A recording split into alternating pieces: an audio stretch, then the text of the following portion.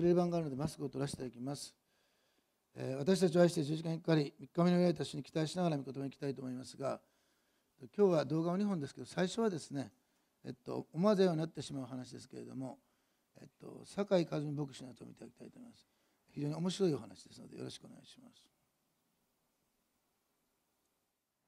思わず笑顔になってしまう話をお聞きの皆さんこんにちは長崎の酒井と言います今日は感染爆発でも感謝する秋というお話をしていきたいと思います。長崎では少し前にたくさんの雨が降り続きました。大雨が降り続いたんですね。ダーッと降り降り出したらもうまっすぐの道にも水たまりができてしまうぐらい非常にたくさんの雨でした。私は、えー一つ運動靴を持っていました。それは半分足の底下の方に向けてビニールでできていたので外から雨が漏れない入らないという靴でした。そしてその運動靴を履いて私は今日も雨に濡れないぞと思ってただただ何もしないで雨が降ってきたんですけどうんその歩きました。そしたらですねべちゃべちゃに濡れてしまって私は職場にいたんですけど、えーそのべちゃべちゃに濡れた運動靴で職場に入ったら事務室なんですけどパッと後ろを振り向くと足跡というよりも水がぼちゃんぼちゃんとバケツから落ちたら濡れてるようなところがあって何かと見たらそれは私の足歩いた跡だったんですね。でそれえー、と思って、えーまあ、拭きました。足がべちょべちょでしたその日は。本当に大変でした。そして私はその日も雨に濡れたことを本当に感謝しますと言って帰りました。次の日また大雨が降り続いていました。私は違う靴を履いて行きました。そして今日はその日は神様雨が降ることを感謝します。私の足は濡れるかもしれない。そのことも感謝します。濡れたらみんな小さい時からお前の足は臭い臭いと言われて臭くなることを感謝しますと言って感謝をしながらそして感謝をしばらくすると感謝の後神様だからお願いです。今日は絶対濡れないように靴の中が乾いていますようにと言ってお祈りをしながら職場に行きました。職場に着くとえ？こんなに雨が降ったのに？と思ったんですけど靴の中は乾いていました。濡れてなかったんです本当に神様ありがとうと言って褒めたたえました。そしてその日も感謝をして帰帰りました。そしたら雨は降り続いていたんですけど靴の中は濡れませんでした本当です。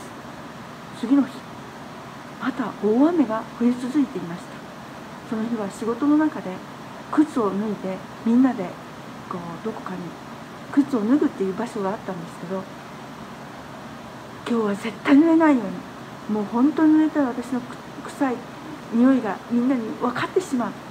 神様絶対濡れないようにとお祈りをしそして濡れてしまうかもしれない。雨が降ってること感謝をして感謝をして感謝をして行きました。職場に着いてその靴を脱がなきゃいけない場面に入った時気づきました。全く濡れてないんです。こんなことは私が、えこの仕事を始めて歩いていくようになって全く初めてです。それまではいつも濡れていたんですけど今回は非常にたくさんの大雨でしたが神様は本当に守ってくださいました。お聞きの皆さん聞いてくださったことをありがとうございます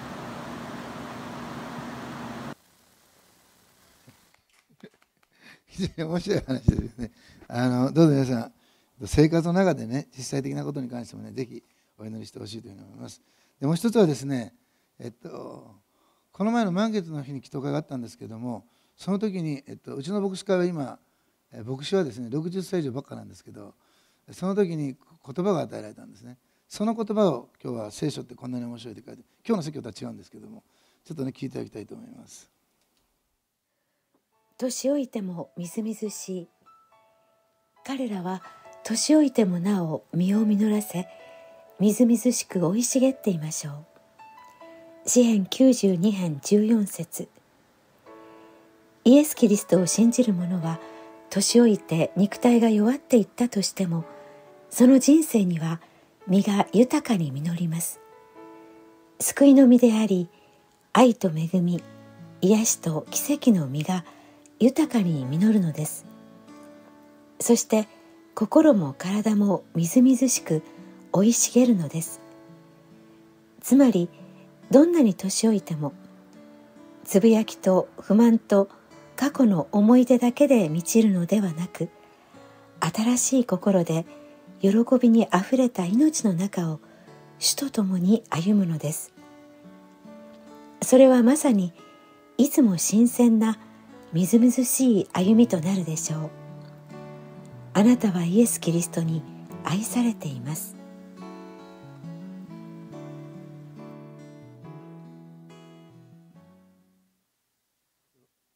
はいありがとうございました。えっとこれねなんかね明確に語られたんですよね。ちょうどその歌詞を読んだ方もよく最近疲れていらっしゃった方なんですけれども。ですね。で、えー年を取ると2つに分かれるんですね。それはクリスチャンノンクリスチャン関係なくね。えっとどう分かるかというと過去の思い出ばかりを言ってそして愚痴やつぶやきがすごく出てくる人と年を取ってくると本当に感謝があふれてきて、えー過去の思い出はもちろんあるでしょうけどもなおかつ前を見てとか永遠を見てる人がいるんですね。でクリスチャンの場合は永遠があるんですね。でそこを見ながらこう本当に感謝して歩むってことはすごく大きなことです。でぜひですねまあそういう年の取り方をしていきたいなというふうに思います。どうぞ皆さんあの長崎教会の牧師に会うと言ってあげてください。えみずみずしいですねってね。あのよろしくお願いしたいというふうに思います。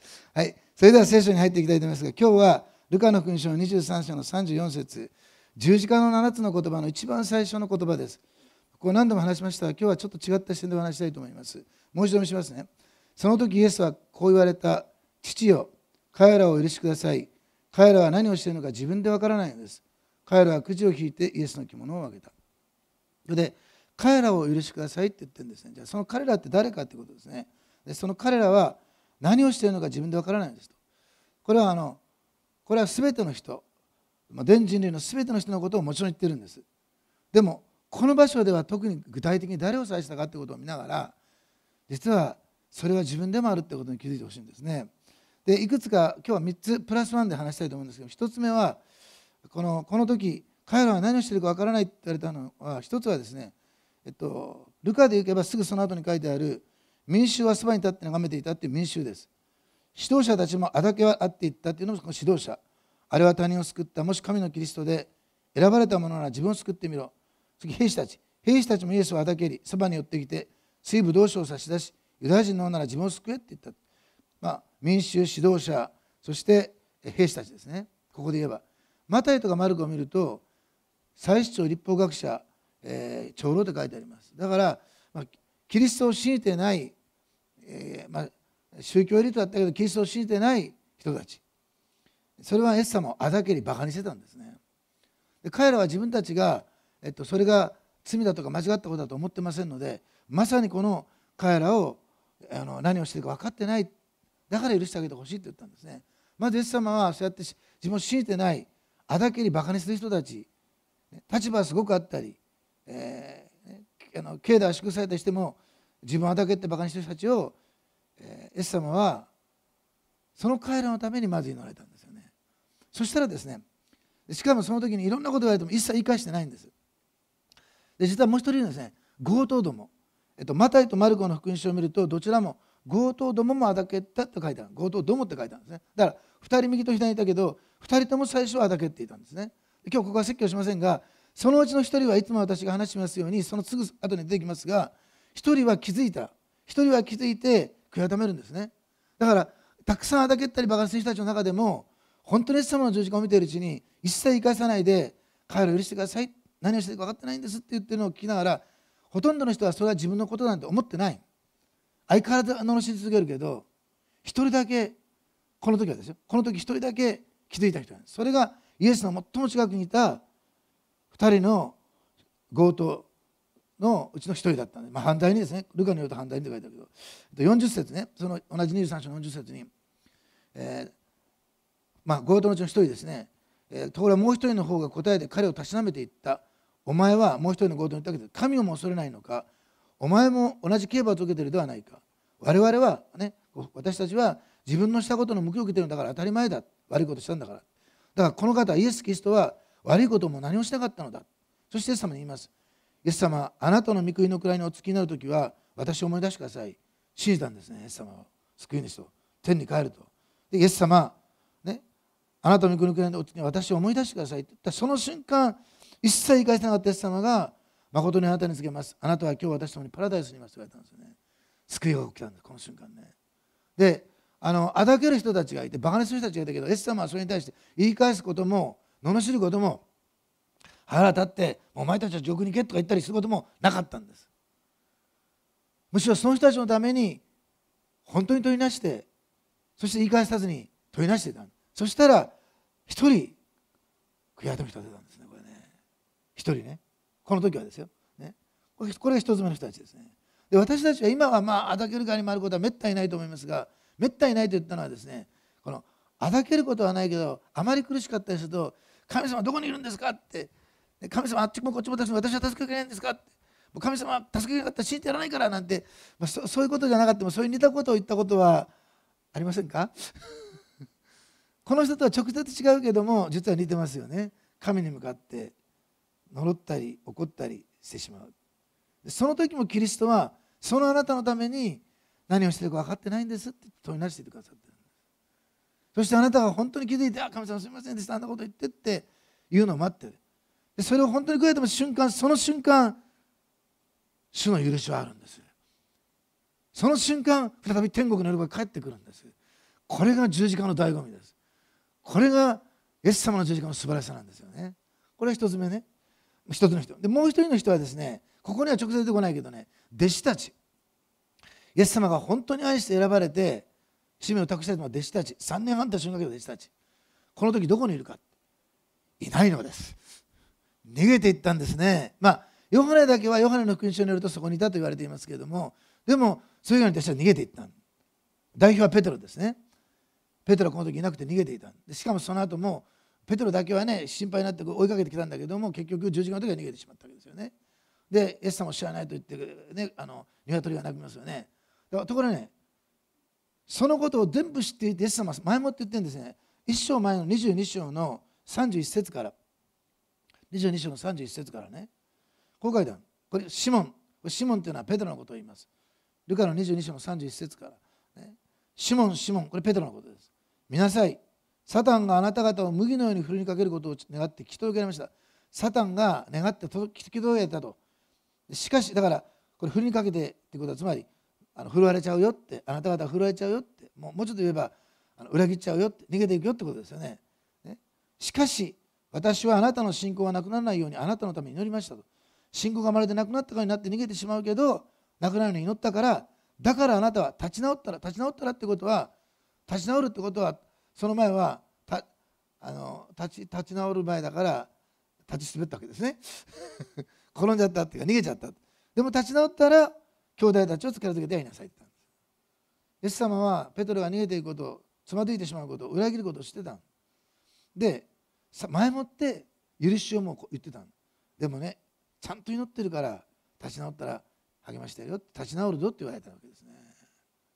ということはこの逃げ彼らは自分何をしてるかわからないって時に何をしてるかわからないっていうよりもついていきたいしどこまでもイエス様についていきたいんだけどそれはできない。やりたくてもできない弱さを持っている弟子たち。そのためにも十字架で祈られたんですね。で面白いのはねそしたらイエス様このシモンここで言うんですよね。33節で「主よご一緒イエス様さえてくればご一緒ならどうであろうと死であろうと覚悟はできてます。覚悟はある」しかしイエス様は言われた。ペトロあなたに言いますが今日鶏が鳴くまでにあなたは三度私をしないと言って覚悟があってもね逃げちゃうんですね。この時嘘じゃないんですペテロは本当にイエス様が一緒ならどこまでもついていきたいと願っていたしついていく気持ちは十分あったしついていこうというちょっと日本的な言い方をしますよ。あの人昭和の人間の言葉で根性はあった。ところが根性では勝てなかった。逃げていっちゃったんですね。でもイエス様は全部知ってて前もって言われたんです。あなたは弱くて逃げていくし裏切っちゃうけども信仰なくなるんで私が祈ったから。だから立ち直ったら兄弟たちを力づけろよって前もって言ったんこれってね逃げていった時に心に残ってその時はねなんでそんなこと言うんだと思ったかもしけどこう逃げてる時にねすごい心に響いてきたと思いませんか。死の言葉ってねその時分からなかったりね時ではね、まあ、腹が立つわけじゃないけどねなんでそんなこと言うのって思う時があるけど後になってみるとねものすごい慰めのことってあるんですよ。でこの十字架でね彼らは何をしてるか分からないって時にもう彼らはついていきたいどこまでもそれなのにこれペトロだけじゃなくて弟子たちからねあな弟子たちの代表だからね逃げていっちゃうみんな。何をしてるか分からない。したくてもできない。どうしようもない。そのために乗ってくださったんですよ。私たちもイエス様でこうしたい。断食したい。イエス様のためにね。あるいはこうイエス様のためにこうしたい。ああしたいと思いながらできないことってありませんか？で自分で自分が情けなくなってはあと思うことありませんか？そのためにキリストは十字架であなたのために祈ったってことです。これね。これ2つ目なんです。そして3つ目。3つ目ね3人、まあ、3つ目とか3番目ね。これは、えっと、ルカの福音書で言えばその今のところの少し前にありますけれども、えっとですね、ルカの福音書で言えば、えー、27節からあるんですけれども大勢の民衆やイエスのことを嘆き悲しむ女たちの群れがイエスの後についていった、こういうこと女たちがいたでもイエス様はその女たちにエルサレムの娘たち私のことを泣いてはいけない。むしろ自分自身の自分の子供たちのことのために泣きなさいって言うんですけれどもこれはマタイとマルコの方が分かりやすいのでマルコでいきましょうかね。マルコの15章。マルコの15章こちらで開きますけどマルコの15章にねあの分かりやすく書いてある。マルコの15章の40節41節ですね。マルコの15章の40節41節。お見せしますね。40節がえっとまた遠くの方から見ていた女たちもいた。その中にマグダラのマリアと小ヤコブのヨセフの母マリアとまたサロメもいた。イエスが外来のない時いつも付き従って仕えていた女たちであると。この他にもイエスと一緒にエルサレムに登ってきた女たちがたくさんいた。僕たちはまあ遠くからいたって近寄れなかったからですね。近づかせてくれなかったから。でも十字架までついてきたイエス様をとっても愛してたイエス様は十字架の心を痛んで眺めていたんです。ね。ものすごく主を愛して主のそばにいたわけですよ。近くここまで来て逃げてない。でもね本当に心痛めてねああエス様って痛めてるんですけどでも彼らはこもったと思う。ああね宗教指導者たちに妬まれて罪もないのに殺されてエス様なんだかかわいそうイエス様って言ってこうねキリキリいたんだ。でも自分の罪の身代わりだとは思ってないと思うんですよ。この女たちは。本当に主を愛してたしここまでついてきたし心痛めていたしイエス様のことを思ってたけどあのあの役人たちはこの人たちがイエス様を十字架つけちゃった。とんでもない人たちだと思ってた。イエス様って思ってたけど自分の罪だとは思ってないんですよ。この女の罪のためにもこの女たちの罪のためにもイエス様は十字架ってだからこの言葉はですね彼らは何をしてもわからないって時にその彼らの中にこの女たちも含まれてる。で実はこれ結構多いんです。本当に主を愛してる。主に従ってきた。なんであの人はこうなの？どうしてこの人はこうなの？イエス様あなたこれ痛めてるでしょ？私も痛んでます。彼ら俺でやってください。もうどうしてもうちのうちのあれは何だことかってこうなるんで、ね、でもその時自分は悪いと思ってない。こんなに支配してる。こんなに私は一生懸命やってる。自分は悪いと思ってない。これが一番困るんです。日本人結構多いんです。日本人ってすごく生真面目で努力家で勤勉だから。そのこと自体は素晴らしいものなんです。それを否定しません。それは素晴らしいことです。でも方向が間違うととんでもないことになる。この女たちは本当に主を愛してここまでついてきた人たちでした。主も愛しとられたこの女たちを。でもこの時十字架を見ながらそれが自分の罪だとは思ってない。この段階ではね。後になったら分かると思いますよ。でもこの段階ではね。分かってないんですよ。そしてね、えー、イエス様はその彼女たちのために言ったんです。何をしてるかわからないって。でこれは私たち気をつけないとしばしば陥るんですね。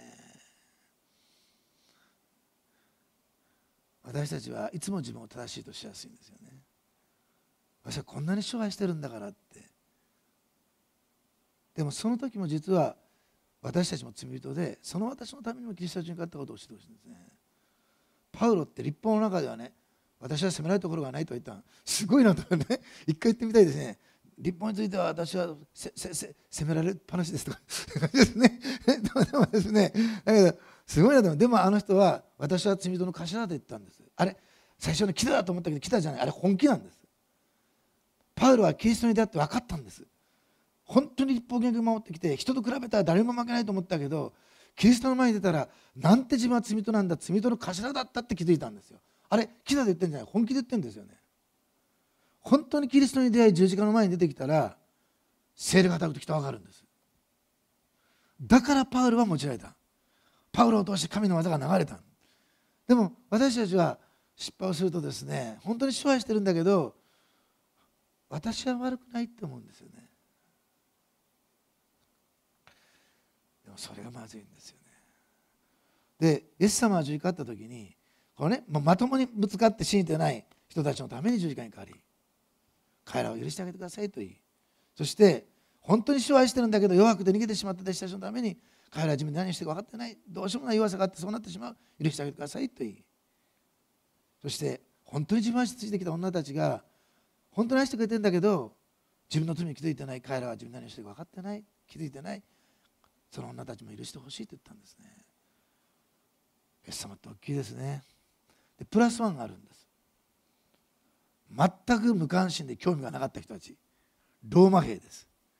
十字があった時イエス様の下着をくじで分けて下でやっててここにイエス様がいるのにあのいつもこんな高くなってますけどあれはあのヨーロッパが書いたよね。あの時イエス様の十字架ってそんな高くないんです。もうすぐ見上げるもうすぐそこにかかってるすぐそこにイエス様がいるのにもう下で足元でくじ引いてやってた人たちね。ところがその人たちが12時から真っ暗になったりね、そして3時頃にイエス様が叫んだりいろんなそのを見ながら彼らが最後に言った言葉は何かというと、えっと、ルカに戻りましょうかね。ルカに戻っていくとルカの23章の,、ね、その十字架の最後のところに、えっとねえっと47節でこうある本当にこの人は正しい方だったって100人隊長は言ってるでマタイとマルコではこの方は神の子であったって言ってるんです。と救われたかどうかは微妙でそれだけでは断言できないから。でもこの人は神の子だった。この人は正しい方だった。いわゆる救い主だと。認めたんですね。全く無関心だった人も。エス様の十字架の前に来るとねどんなにぶつかってでも信じる人がいるし無関心の人でも救われる人がいるんですよ。すごいですね。これが十字架の力なんですね。で私はそれによって救われて許されて今ここにいるわけです。でさあここからですね。主は何を願っておられるのか私たちが再び信じてはいるんだけど神様に激しくぶつかっていったり弱さに逃げてしまったりあるいは主を愛してるんだけど自分は正しいと思って込んでしまったり無関心ってことはまずないと思うけど、ね、スマホにもう忙しくてねもう聖書の話なんかどうでもいい、ね、テレビに夢中になってしまってもうちょっと教会はいい。仕事がもう面白い楽しくて楽しくて仕方がないからちょっと神様はちょっとちょっとしばらくすいませんあのお休みとかね。そういうことです分かりやすければ。クリスチャンだけど。その時もイエス様は彼らは何をしてるか自分で分かってないんですと言って責めるんじゃなくて問いなしてくださってるんです許してあげてほしいって。すごいですね。そして去年気づいて本当に許されてああ本当に神様感謝しますってなった時にじゃあ次主は何を願ってるか肉にはできないんだけどイエス様と同じように今度は自分の言われてる十字架を引き受けてその自分の言われてるところでイエス様と同じように許すことなんです。ぶつかってくる人無関心な人そして、えー、逃げていく人、ね、すごく思ってくれてるんだけど的外れでっていうか自分は正しいと思ってる人いるじゃないですか、えっと、ステパノが殉教する時みんなこう歯ぎしりをして石を投げてきました。まさに一番最初の人たちですね。ぶつかっていく。でサウルはその時あの着物の青年だったら着物の番をして石は投げなかったのに着物の番をしていてこの中で思ってました。投げろ投げろって殺せ殺せと思ったと思います。でその時ステパノはまず最初に「我が霊を見てになります」と言った後に何て言ったかというとこの罪を彼に忘れないでくださいって言ったんですね。まさにイエス様としたんですよね。この罪から許さないでくださいって言ったんですよね。でその祈りが天に届いたんです。サウロはサウロは許されて救われちゃったでしょ。もちろんパウロの会社のところで救われてるんですよ。でもあの祈りが私はサウロを生かしたと思ってるんですあの祈りに主は答えてくださった父なる神は。そしてサウロを救い出してサウロは気づいたんですよ。ああ私のために。ででサウロにとってクリスチャンとは誰か。ステパノなんです。忘れられない。その時はパウロはとんでもないと思ってるからね。何言ってんだこいつってね。何が天が開けてるだってね。何が私の霊だってね。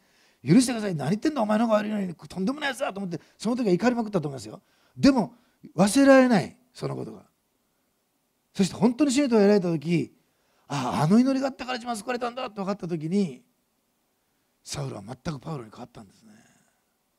サウルにとってクリスチャンとはステパノだったんです。あの時許しを祈った人だったんです。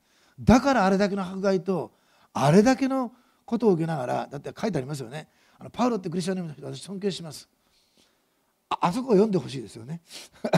ね ななんとかななんとかななんとかななんとかななんとかななんとかの道をなんとかああれあれはすごいなと思いますけどね。なぜあの中でそれでも主愛して従い続けるかだったら彼にとってステパノはクリスチャンだったんですよね。ですね。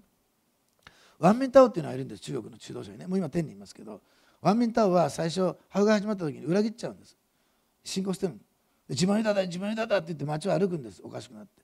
でもある時えっとねえっと三箇所の7章9節の言葉ね。三箇所7章の9節の言葉でえっとあすぐ出ますか？はいありましたね。7章ありがとう。7章9節の言葉でこの御言葉が彼の心響いた。私は主の激しい怒りを身につけ受けている。私が主に罪を犯したからだ。しかしそれは主が私の訴えを取り上げ私を正しく裁いてくださるまでだ。主は私を光に連れ出し私はその義を見ることができる。この御言葉が彼の子に届いた。その時彼は再びね出頭してねそして捕まるんです。でそれから23年間投獄されるんです。で解放された後上海で軟禁状態の中で彼は福を語り続けるんですね。感謝の中だったけど。そしてすごくそれがまあ本が出ましたね「命の冠」っていうね。何かというとあの一旦逃げるんですよ彼は。裏切るんですよ。でも本当に神の言葉を持って再び彼はあの投獄されるんですけどその後神様に切るんですね。いやねあのいろんな形があるんですけども今度は私たちの方が26世もそうですね。彼らあの十字架の上で本当に許した時にあの、まあ、寺田ハンドルかどうかないけど役の中から一人救われた人がいたって言ってましたしノンクリスチャンのたくさんの人たちが彼らの姿を見てあとキリストに立ち返ったと言われています。であの今日2つの話をしたいんですね。私たちはえっと、クリスチャンになってるでも許されたものなんだけどそれでも今日話した人たちのように主に立ち向かっていってしまったり逃げてしまったりあ自分は正しいと思い込んでしまったり無関心っていうのはちょっと言葉悪いけどもう神様のことが忘れてしまったりするようことがあるかもしれない。でもそれでも主はその私のために今も問いなしてくださってるんですね。責めるんじゃなくて彼らは自分に何をしてるかわからないんですってこれしてほしい。でその上で次今度それをした時今度私たちも主とは根本的に違うけれども小さな十字架を家庭の中で追うことがある。あるいは職場で追うことがある。教会で追うことがある。その時に主と同じように彼らは何をしてか分かってないんです。許してあげてくださいっていう祈るものになってほしいんですねお互いに、ね、その時にですね神様って何ですかあれはって。ちょっと天から雨を降らあれ雨じゃない槍を降らせて懲らしめてやってください。ね、そうでもしないと分かりませんって。やったことないですか？それは十字架の道じゃないですね。おそらくあなたのそばでサタンがね拍手喝采してるでしょう。そして見事で咲きます。そうだそうだあなたは正しい。その通りだって。騙されないでください。何も生み出しません。でも本当にそこで、ね、その死と共に、ね、描んでいくとに規制が起こってくるんですね。でただね肉にはできないから本当に主に助けを求めてまず自分が本当に主によって許されてるってことを知ってほしいんですね。多くのクリスチャンはね許しを受け取ってないことがある許しを受け取ってない人の特徴はね自己自得ってうまあそうは言っても自己自得だから、まあ、クリスチャンとはやっぱり自分はやったんだからって。十字架にすがらない。十字架の許しっていうのは恐ろしいほど深く大きいのです。で人間の罪っていうのはかなもう悲しいぐらい情けないぐらいどうしようもないんです。認めましょう。お互い自分はどうしようもないことを。そんなことはないよ。どうぞ頑張ってください。人と比較したらあなたは立派でしょう。でも本当に聖書に立ってキリストの前にいた時あのパウロが罪人の頭だと言ったように私はどうしようもない罪人なんです。でもキリストは責めるんじゃなくて十字架の上で自分の命を捨てて彼らは何してか分かってない。許してあげてほしいって死の神に祈ってくださっただから私もあなたも救われて命をいただいて天に行くことができる。この地上でもこの主にすがればいつでも喜びを返してもらうことができる。あの救われた時の喜びを。だから今度は主に従っていったらきっと通るその十字架ね。えー、っとねもう全然無関心。あるいはねぶつかってくる、ねあのー、逃げちゃいっちゃう。これも面白くないですね。でもね一番辛いのはね正しいと思ってくる人ってね。これ多いんですよ。近い人の時に多い私はこんなにやってるのに分かってくれないのもうもう本当にとか言って言われるんですけどね。でもそれが一番辛かったりするんですよね。その時にそれを本当に主の助けをいただいて許していくって、ね、その時にねすごい神の力が流れ始めた本当に。もう終わりますが時間があるからえっとね、まあ、どうって言って分かるから言わないけどあるあるところのね方にねね教会に行った時にねえっとねご主人が一切教会に来ない人がいたクリスチャンなのに、ね、奥さんがねいつも結構祈ってたでもダメだった長崎人じゃないですよ。全然違う地域の人からねこれはね、えっと、九州のけど長崎じゃないところね。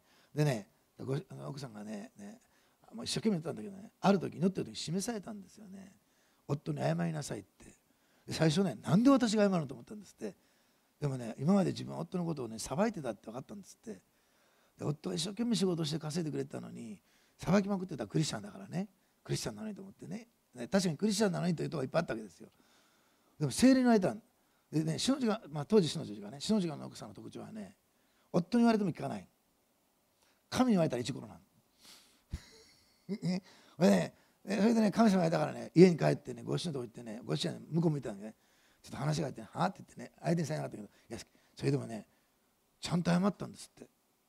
夫はその時ね横になってたでもちゃんと謝ってその時手をついて謝ったんですって。心からですよ。心から。本当に。今までね本当にね私は自分は正しいと思ってあなたを裁いてました。本当に許してくださいって真剣に謝ったんですって。面白いですね。そしたらねご主人がねびっくりしたんですって。その次の週から教会が来たんです。その人しばらくだって献身したんです。牧師になりました。名前言いません。詮索しないでねこういう時にあれ誰だろうって考え出すとややこしくなるから。これこれ本当の話ですよ。どうしても聞きたい人後で私に聞いてきてください。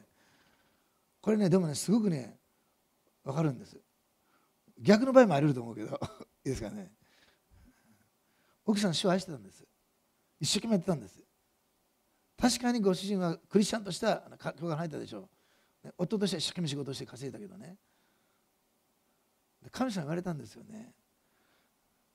なんですよ。裁いてる限り何も起こらないんですよ。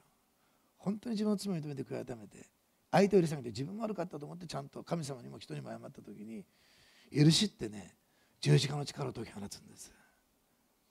許しってね十字架の力がね理屈じゃないんです。流れ出すんです。で主の力が流れれば人は変わるんです。感動はいっぱいします。心は触れるでしょう。でも霊は変わらないんです人って。ただの感動では。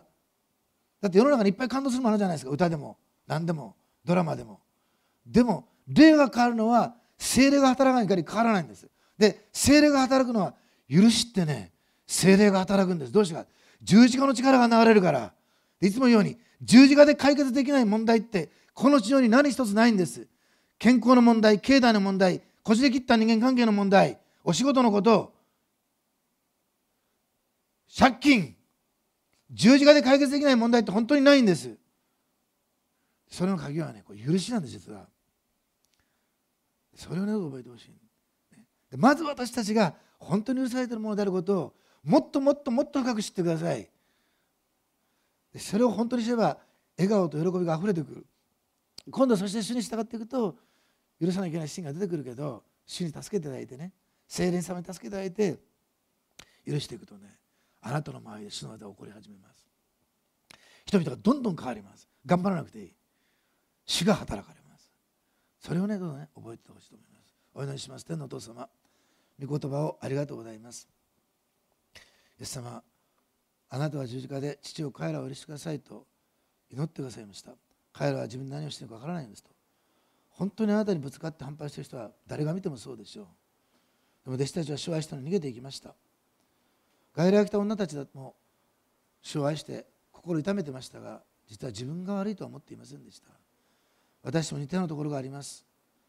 無関心だったローマの百人隊長もイエス様の愛に触れました。どうぞ神様私たちがその主の愛に触れて本当に許されたものであることをもっともっともっと深く知ることができますように。そして私たちが今度は小さな十字架を家庭で教会で職場で地域で追うことがあるかもしれませんがその時聖の助けによってあの人この人を許すことができるように。そしてそのことを通して主の力が十字架の力が流れていって驚くような神様の勝利と解決を見ていくことができるようにどうぞ導いてくださることをお願いいたします。お祈りをしたいと思います。罪があると祈りが聞かれませんのでまず悔い改めをしましょう。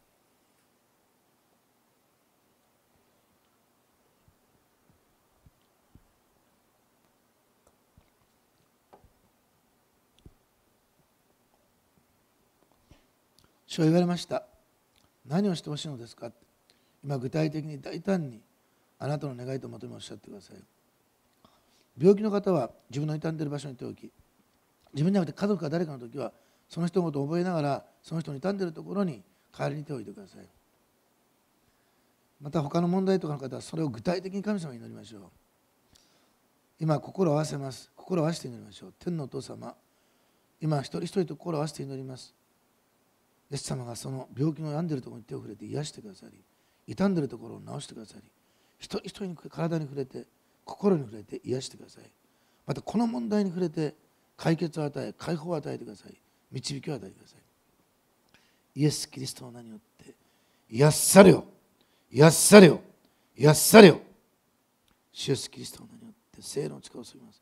聖の力を注ぎます。治れ。治れ。治れ。肩の痛み背中の痛み消えてなくなれ。胸の圧迫イエス様ってめてる全く消えてなくなれ。イエス・キリストによってがんよ消えてなくなれ。脳梗塞や腫瘍の後遺症イエス様ってめてる完全に癒されよ。お腹の調子の悪い方イエス様ってめてる今お腹に触れてください。癒されよ。不眠症の方夜熟睡できるように。今不眠症よ。その人の力出ていけ。今触れてください今働いてくださいまた導きを求めた方境内いろんな問題あります一人一人に触れてそのことで答えと解決を与えてくださいありがとうございます感謝しますイエス様のお名前によってお祈りいたしますアメンどうぞお立ちくださいハレルヤを賛美します